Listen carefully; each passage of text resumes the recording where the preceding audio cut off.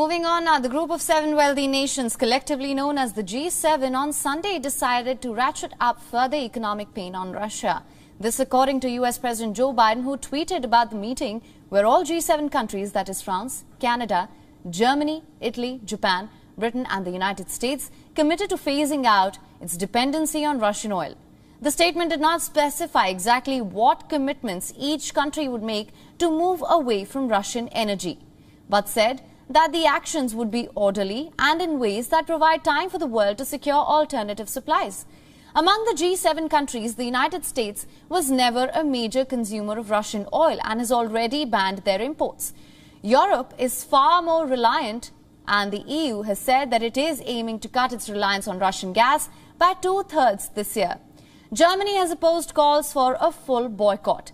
This was the group's third meeting this year, with the Ukrainian President Vladimir Zelensky participating from Kiev. The United States also unveiled a host of sanctions against Russia.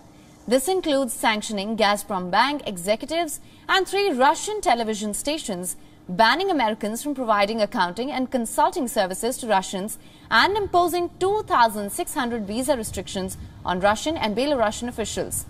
The sanctions against Gazprom Bank executives were the first involving the giant Russian gas exporter. The United States, however, clarified that the measures were only against some of its top business executives.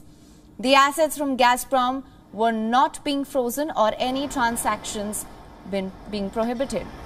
Now, the United Kingdom too expanded on its sanctions. This includes punitive import tariffs on Russian precious metals like platinum and palladium.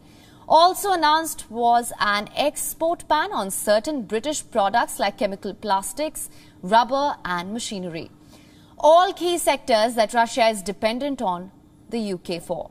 The latest measures announced by Britain will bring the total value of products subject to sanctions to over $4 billion. WION is now available in your country. Download the app now. Get all the news